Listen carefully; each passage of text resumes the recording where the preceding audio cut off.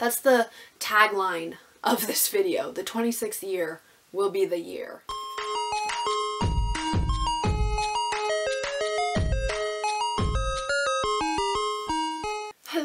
Everybody, it's your girl Jay and today I turned 26 so I thought I would give y'all a video of the 26 books that I want to read for my 26th year on this earth. I'm not gonna lie to you, I pretty much just looked at my shelf and picked out 26 books, the first ones that I saw that I was like, ooh, I really want to read those but I haven't yet. So I'm not gonna say that these are in any particular order or if they really truly are the 26 books that I want to read the most but they are the first 26 books on my never-ending shelves that I have not read that caught my attention this time around. So without further ado, let us get started.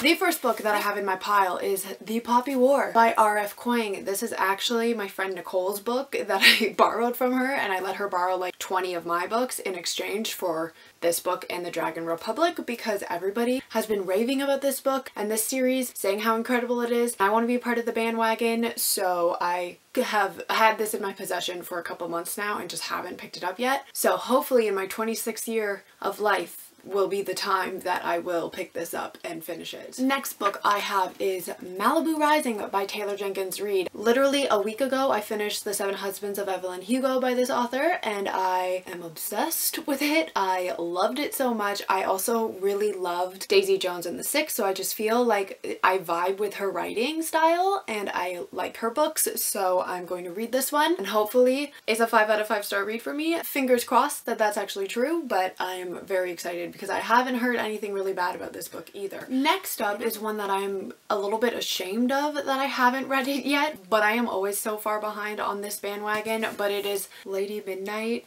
by Cassandra Clare. I finally finished The Mortal Instruments like last year I want to say so it just makes sense that I need to finish The Dark Artifices, actually start it, not finish it. Also finish it, but start it. So that I can move on to her new trilogy that is coming out, which I have the first two books for, The Chain of Gold and Chain of Iron. I have those two. I don't have the third one. I don't think it's even out yet if it is a trilogy. I don't know. She writes so many books. But the point is that The Dark Artifices needs to be finished in my 26th year of life or I'm gonna be really mad at myself. Next up is one that I actually received in the mail like a couple days ago but I am so excited about it. It was kind of what triggered this whole video because I was looking at my shelves and I was like I really want to read that book. But it is Little Thieves by Margaret Owens. I just think that this premise sounds really cool and I also got artwork in the book that I just think is stunning and just makes me want to read it even more but it's a retelling of The Goose Girl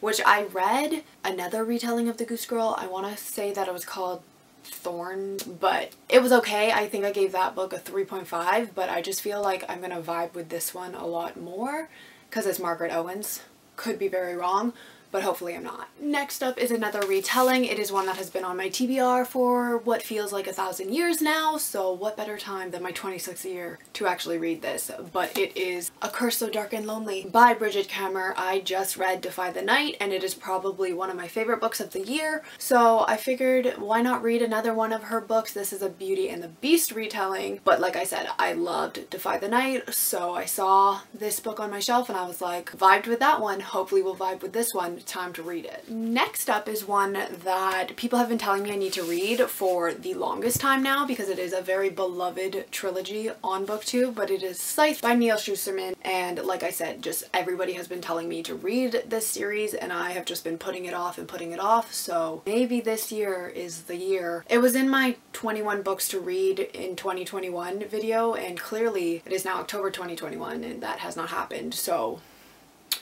Maybe the 26th year will be the year it happens. Who knows though? Next up is one purely for nostalgia. It is The Ballad of Songbirds and Snakes by Suzanne Collins. I was a huge fan of The Hunger Games when it came out. I know a lot of people say this is not good, but we're doing it for the nostalgia, you know, because I'm getting old. We want to feel young again so I don't feel like a grandma that I am. I go to bed at 9 p.m. now, people. It's a lot to take in when I used to go to bed at 2 a.m. and now I can barely stay up past 7.30. So, nostalgia. Next up is another one that is solely author based. It is The Enchantment of Ravens by Margaret Rogerson. I just finished Vespertine by this author. I also read Sorcery of Thorns. I really, really liked Sorcery of Thorns. Vespertine, I gave, I think, 3.5. Sorcery, I gave 4.5. So I just want to see what I think of this book. I also have just heard really good things about it, and your girl loves herself some Fae, so I'm here for it. I'm ready. Next up, I have Legend Born by Tracy Deonn. This is another one that I have just heard such good things about on BookTube, so I just feel like I need to join that bandwagon and actually pick it up because I have had this for a while. My boyfriend Will picked it up for me like back in,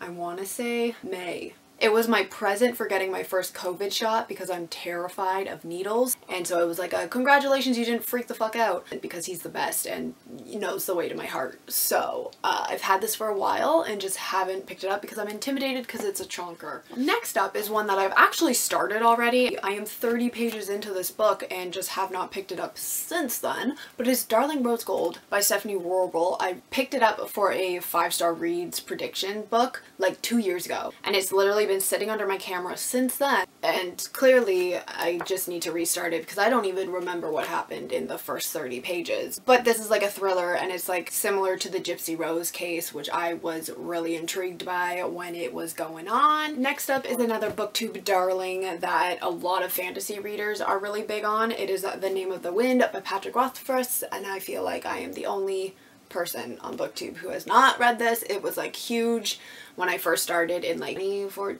I don't remember when I started. A long time ago, like six years ago. I still have yet to read it and pick it up, but I know that a lot of people really enjoy it. So I really like how floppy this one is. So I kind of feel like I need to read it soon just so I can flop it around. Next up is Only Human. This is by Sylvain Neuvel. This is the third book in the Sleeping Giants trilogy that I really liked. I listened to it on audiobook and it was so stinking good. So I am just waiting to get it on audiobook audiobook so that I am able to listen to it. I'm not gonna lie, it has come into my library like seven times for me to listen to it and I just don't do it because I have other books that I'm listening to and then it expires then I have to go back on the waiting list. So this one is like purely my own fault but I am intrigued because I really did like the first two in the series so I kind of do want to know how it ends. Next up, another booktube darling, but it's one that's a middle grade. It is Nevermore, The Trials of Morrigan Crow by Jessica Townsend. This was big with How to Train Your Gavin and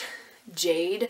I want to say her booktube is JD Reads, but I could be wrong. But they're like the British booktubers. They're the big ones. But they loved this book and raved about it when it first came out. And I think there's like seven in the series or something ridiculous now. It's probably a trilogy, but in my head there's seven. Next is another solely author related choice for me, but it is The Chosen by Taran Matharu. They wrote the Novice series, which I really loved back in I want to say it was like 2016 when I read their books, but I remember the author explaining that series as like a Pokemon inspired Digimon kind of situation and I ended up loving it. This is a new series by them. There's also two other books in the series I want to say. I'm intrigued just because it's Taran Matharu, but I do want to read it because I loved their first series, so this is their new one. We gotta see how different it is from the first. Next up is Amanda And Christine Lynn Herman, All of Us Villains. This one is solely because of Amanda Foody. I read their Ace of Spades, whatever that series is actually called. I loved it. Amanda Foody is one of my favorite authors, so when I saw that they had a new book, I was like, need it in my life. But this one actually like recently came out in, oh, it's not even out yet, November 2021. So this is an ARC version of it. So I mean, that's my excuse for why I have not read this, even though nobody has read read this unless they got an arc, so I don't feel as bad about this one. But it's similar to The Hunger Games, but like Mafia, so like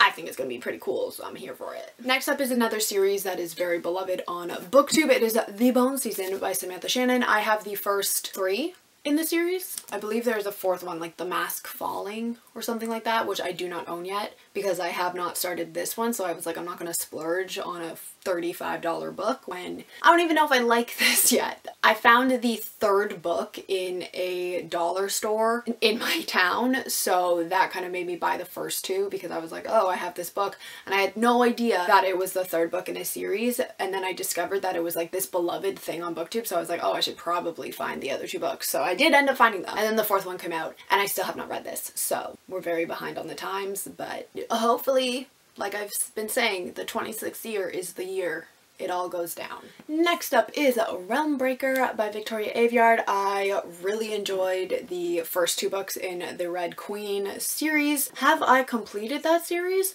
No, I need to read the third and fourth books. I do own them, so those should probably be on this list, but I tried not to pick too many sequels because then I could have been going on about Throne of Glass and uh, the Red Queen and God's Grave and like so many others, uh, the third Grisha book. So I tried to stay away from that. But this doesn't count because it's a new series. So next up is a book that a lot of people have not heard of as far as I know, but it is Hangman by Jack Heath. This one is like a serial killer book, but the serial killer works with the FBI so that he's able to kill people. It's like the exchange. He's allowed to kill somebody if he helps solve cold cases. It seems really interesting. It's an Australian author and I just think it sounds like fascinating. So this has been one that I have been saying I'm going to read for the longest time. The author actually sent it to me uh, apparently in 2018 according to his signature. So I am so sorry Jack but 26th year will be the year. Next up is Heart of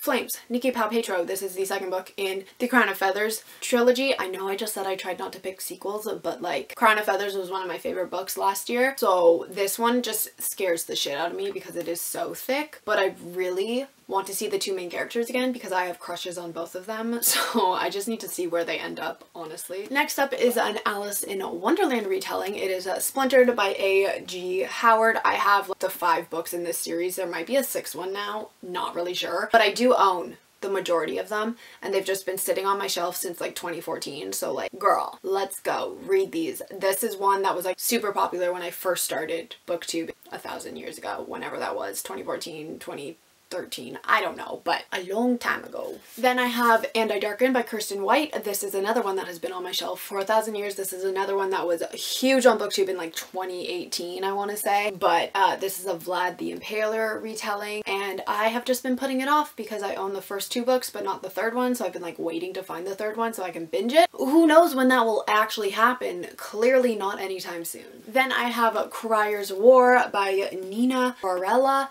The second book came out like last year or this year, not 100% sure. This was 2019, so clearly we are very behind on the times. I've heard nothing but good things about this book and it's also very gay apparently, so you know your girl's here for it. So. Next I have another one that was from my five star predictions book that I still have not read, but it is What I Lost by Alexandra Ballard. This is an eating disorder book I am very into psychology and eating disorders is just something that really fascinates me. I know it's weird, it's just the way I am. But I've heard from Julia Sapphire that this book is like really good. So she was actually the one that recommended it to me. So I was like, should probably check it out. So, you know, it's uh, been on my TBR for a while now. So hopefully uh, the 26th year will be the year. That's the tagline of this video. The 26th year will be the year. Next, I have Belle Revolt. This is by Linsey Miller. Honestly, no idea what this book is about. I do remember it being on my most anticipated releases books when it first came out, so I did know what, what it was about then. But now, two years later, could not tell you. You know, I could read the synopsis, but I'm not going to because we like surprises. But we're down for the cover and I just remember it being like very popular, like being hauled on booktube, but then nobody actually like read it and talked about it. So the 26th year of my birth will be everybody else's year to read this book as well. Next, I have 99% Mine by Sally Thorne. I read The Hating Game, absolutely fell in love with it. So it's only right to read the next book. I also believe that this was a book that was on my 21 books to read for 2021 video, so we got three more months. We're gonna do it. We're gonna do it, people. And then the final book that I hope to read in my 26th year of life is Shadow Frost by Coco Ma. This is one that Madison Mary read and absolutely loved and I just absolutely love Madison Mary so I trust her opinions and I usually have pretty similar tastes with her. If she tells me I'm gonna like a book I usually do so. Alright everybody so those are 26 books that I want to read in my 26th year of life since it is my 26th birthday today. Figured I would share with you guys. Please let me know down below which ones you think I should read first which ones like you know I can pass on and prioritize other ones. Let me know. Let me know if you've read any of these books and what you thought of them and I'll see you all in my next video Goodbye.